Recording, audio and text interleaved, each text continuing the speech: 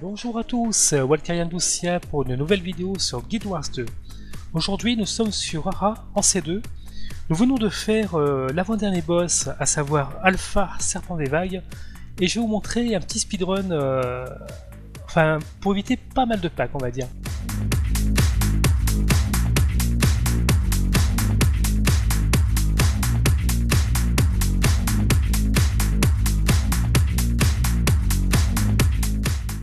On passe un petit peu sur la gauche, on monte sur la pierre, le gros rocher, on monte sur le bateau.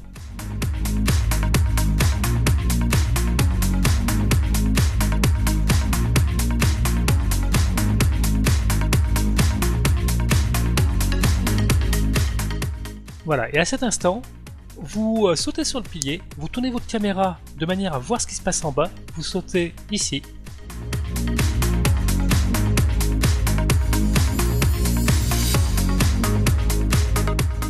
Là, vous sautez bien dans l'angle. Vous allez vous le faire à la Matrix.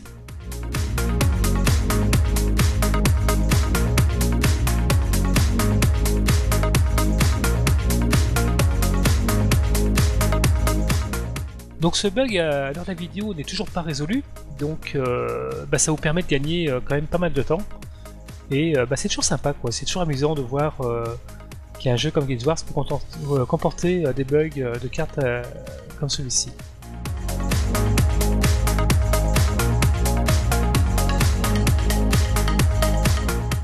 N'a rien à sauter, ou passe au travers. Là, ça, c'est les collègues qui ont lancé la vidéo, le, boss. Au fond, il y a un mur invisible. Voilà, quand j'y suis, vous voyez, je viens contre et je saute ici.